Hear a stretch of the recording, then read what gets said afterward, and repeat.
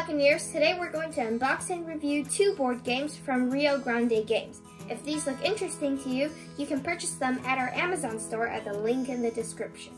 The first game that we're going to check out is Butterfly. This is for 2 to 5 players, it takes 30 to 45 minutes, and it's for ages 9 and up. Here's the description for Butterfly. Hudson the Hedgehog is up early this morning to pursue his favorite hobby, collecting things. The beautiful meadow is filled with fun things to discover like colorful butterflies, buzzing dragonflies, glowing lightning bugs, jittery crickets, and beautiful flowers.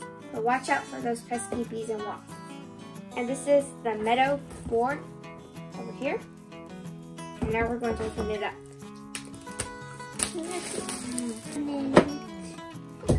So here's the rule book. Oh, this is not really a rule book actually. I mean, it is, but it's, It's only one sheet, which is good. It's a rule page.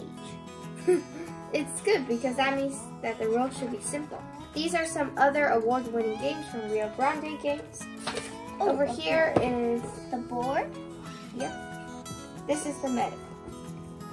Oh, there's two sides, actually.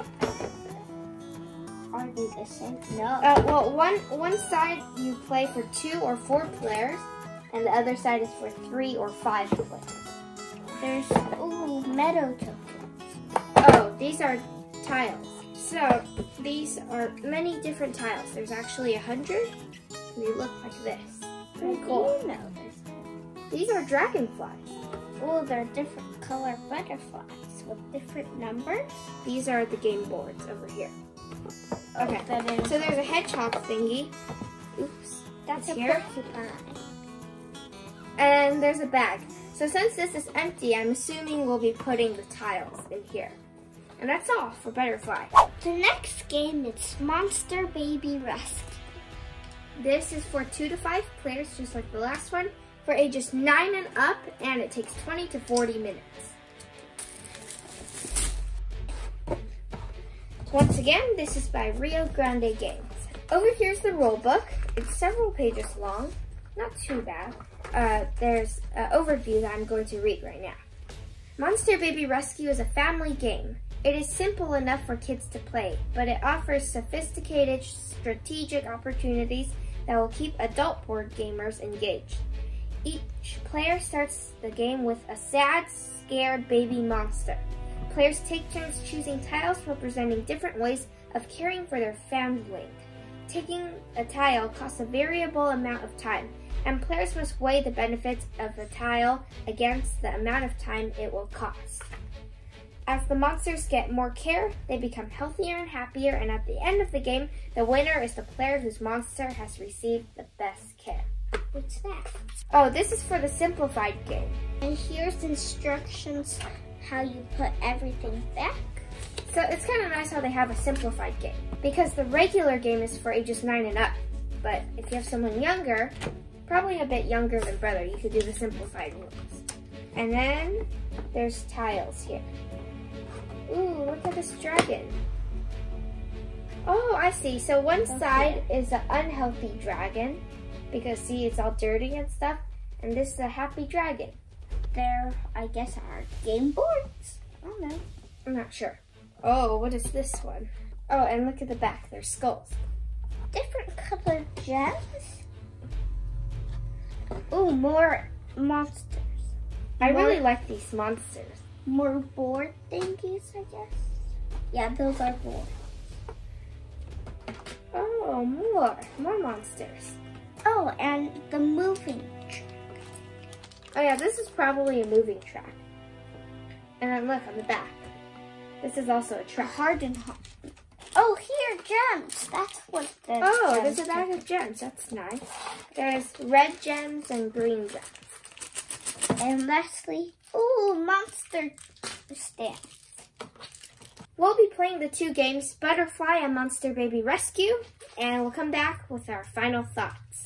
And we're back. The first game we're going to talk about is Butterfly. The goal of this game is to accumulate the most valuable collection of insects, and whoever has the highest score at the end of the game is the winner. During your turn, you can choose to move the hedgehog left, right, or keep it in its current direction. and then you move the hedgehog as far along the line as you want, and you pick up the tile that it lands on. The game ends when a player cannot make a legal move, and at that point we score the tiles. So here are some examples of tile scoring. The most basic one is the butterfly picture, so there's four different colors, and it's just whatever the printed value is, that's the number of points you get. Okay, uh, over here is the dragonfly with an up arrow, and for that one, you score whatever number is the highest. So if you have a tile that says 2 and a tile that says 7, you only score the 7. Now this firefly is similar to the dragonfly, except that you score the lowest number. So if you have a number 9, then of course you don't want to get a number 2 firefly because that will lower your score by 7. And our last example is the wasp, which scores the printed value, but it's always going to be negative. So this is not a tile you want to land on. However, during the game, players can try to manipulate you to force you to take bad tiles, such as the wasp. You can read about all the other tiles in the rulebook. My favorite part of the game is making hedgehog sounds to determine who's first. And brother always wins because this is the sound he makes. Even though I think it's quack quack Moo! Cluck, cluck, oink. My favorite part of the game is that there's a variety of ways you can score points. See, there's so many tiles, which means that you can come up with many different strategies for winning the game. And that's Butterfly. Now it's time to talk about Monster Baby Rescue. The objective of the game is to be the player that takes the best care of their baby monster. And we're going to show you a couple of them. So First, we have Cerberus. This is a three-headed dog. And this is my favorite because all the dog heads are very cute. And my favorite is the basilisk because it reminds me of that water-walking basilisk lizard that lives in the Amazon. It just looks like a dragon to me. Well, it's the front. During your turn, you choose a care tile by the board and you move the number of spaces equal to the cost. After paying the cost, you resolve the tile's effect, which can either upgrade the monster or improve its living condition. The next player's turn is determined by whoever is the farthest behind on the time track, and we've seen this game mechanism before in games like Thebes and Patchwork. The game ends when the last tile in the deck is dealt, and then we move on to the scoring.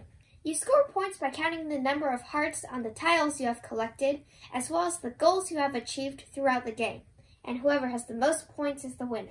My favorite part of the game is upgrading the monsters. And in fact, your monster starts out with nothing, like no jewelry or anything, and very filthy. And as you keep upgrading it, it can become very nice. And that brings us to my favorite part of the game, which is the artwork. As you can see, these are what the monsters look like, and I think they're very cool. My favorite monster is Cerberus, which is what I am every time we play. Another thing that's cool about this game is just like in Butterfly, there are many ways that you can score, earn points, and strategize. And if these two games sound cool to you, you can purchase them at the link in the description. Bye!